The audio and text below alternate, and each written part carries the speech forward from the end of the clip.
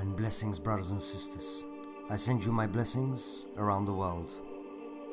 This is your brother, Byahn Rocoel, bring you, you the re-echoed prophetic messages, the holy Rhemas, from our beloved Father Yahuah, Yahusha HaMashiach and the Ruach HaKodesh, our one and Amen. Please do share and please send your prayers as I will pray for you. And use every word you hear for discernment and Amen.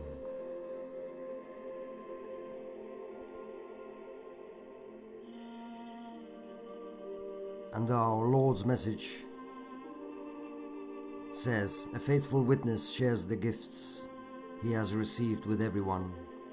And Amen. And our precious Father, Yahuah, Yahushua Mashiach, and the Ruach HaKodesh says, an Amen. Beloved, hear me, says the Lord. Understand love and know mercy. Then go and do justly, as you walk humbly with your God, sharing all I have given you with everyone you meet. My gifts are not treasures to be hidden, but a wealth of knowledge, revelation of who I truly am. Love like no other, a gift to be shared, life without end for all those who receive of me.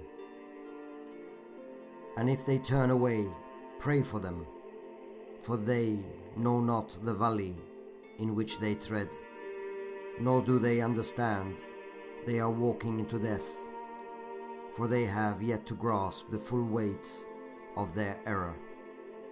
Thus, those who rebel against me and speak evil of you because of me shall surely receive of my strong rebuke, judgment at the time appointed, if they do not repent.